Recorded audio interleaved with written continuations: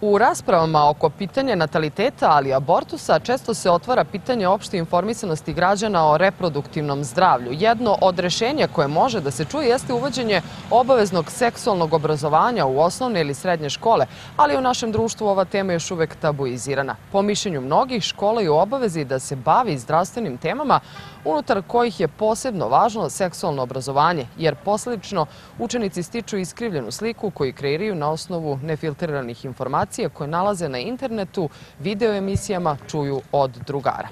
Naše sagovornike iz Kancelarije za mlade, inače srednjoškolce, pitali smo da li je to dobra odluka i da li seksualno obrazovanje po njima treba da se uvede kao obavezan ili izborni predmet u školama u Srbiji. Da mislim da bi bilo dobro da se sa tim počne, da kažemo, sa uh, upoznavanjem u srednjoj školi, to bi bila dobra odluka, jer, bi, jer uh, mislim da je tada pravo vreme, da kažemo, da se upoznajemo sa tim i trebalo bi da bude, barem ako neko želi, da bude izboran predmet u školama, pa ako neko želi da se informiš o tome, može slobodno da se prijavi. Pa ja mislim da delom i jeste, sve zavisi od e, društva i okoline, e, jer, na primjer, možda je osnov, osnovcima to možda više tabu tema nego nama srednjoškolcima, ali uh, može se reći da je to pola-pola. Ako već uvodimo u školu, mislim da treba, ali da bude kao izborni predmet, jer smatram da učenici ne bi bili toliko zainteresovani da je to kao redovan predmet u školi, da bi to nekako više shvatili kao svaki drugi, kao učenje za ocenu, a ne i obrazovanje kako bi se informisali više. Nedostatak edukacije i brige za socijalno ugrožene grupe dovele do toga da se u Srbiji godišnje obavi oko 150.000 abortusa, od čega je čak 16.000 maloletničkih.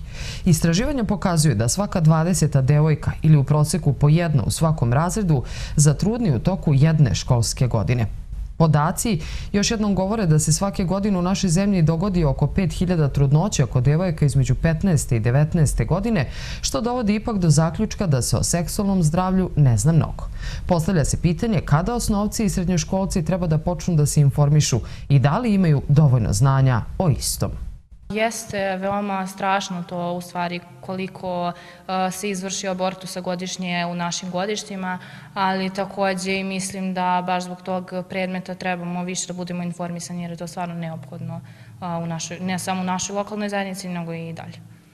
Pa mnogi se stide da kažemo da pričaju o tome, ali to uopšte ne bi trebalo da bude slučaj. Treba ljudi što bolje da se upoznaju sa tim jer je to veoma važno da kažemo u životu i treba barem kroz školu ili kroz neka predavanja da se upoznamo sa tim.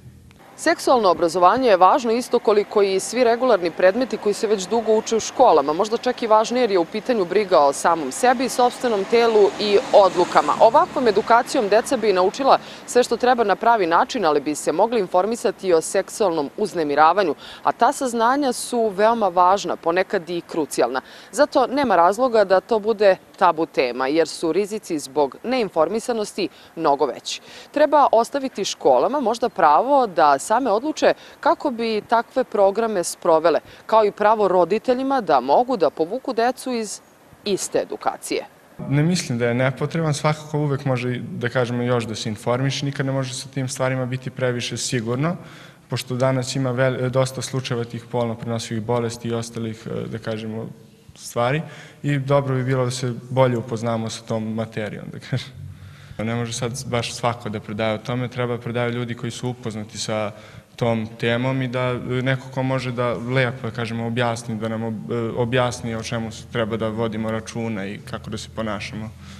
Koristimo se uglavnom internetom i međusobno razgovorom u porodici, ali mislim da razgovori u porodici nisu toliko česti, tako da je to više internet i da je veoma potrebno da se o tome priča, jer je to nešto što je dosta bitno da znamo, a malo toga, smatram da naše generacije malo toga znaju, iako smatraju da znaju dosta toga.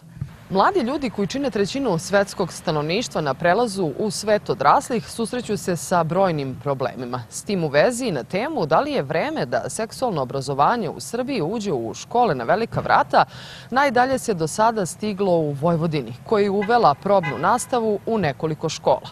Ako ovi rezultati budu očekivani, predložit će se uveđenje reproduktivnog vaspitanja u sve škole u Srbiji.